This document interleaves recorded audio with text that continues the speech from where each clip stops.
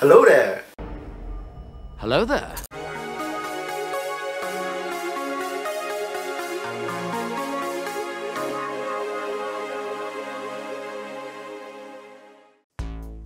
Hey guys, this is Steven Choong and today I want to talk about a term called portfolio.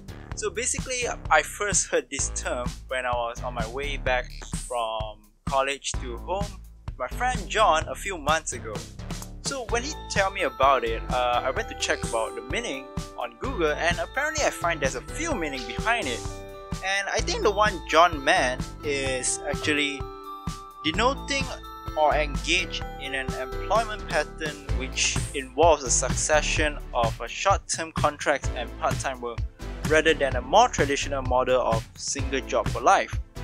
So basically how Jon um, explained it to me is it's like a resume where what job I have done and it's put into a form of a film or anything accessible to anyone. So basically social media, uh, film, videos, anyone that can see it. So today what I'm trying to do is I want to try making a portfolio myself and then show it to you guys. But it's not just to promote myself but for my future reference of what kind of content I can do. So here it is. Hope you guys enjoy.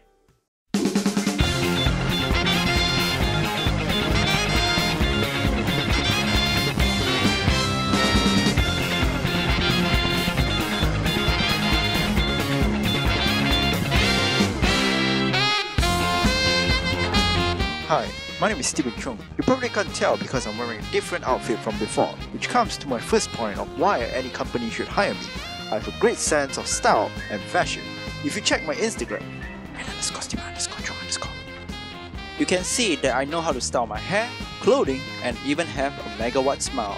Point number two, I'm a man with many skills. For example, I can skate, I can play horror games, and I own a lot of musical instruments such as a guitar, and a music recorder even though I don't use them but I own them because someone gave it to me.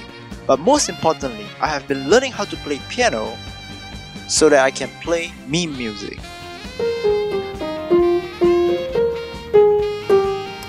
My third reason of why you should hire me is for my passion for video editing and shooting. For example, I'm willing to spend hours just to make this video and edit this stupid video, even though no one probably watches it until this point. Am I right, guys?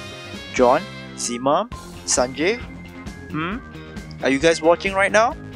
I also have basic editing skills like mask technique. Even though I know a little, but I can say I know a little. Thus, this concludes on why you should hire me. If you guys enjoyed it, please subscribe. I'm trying to reach 100 subscribers by the end of the year. Hope you guys have a nice day and have a fun day. So, yep, bye!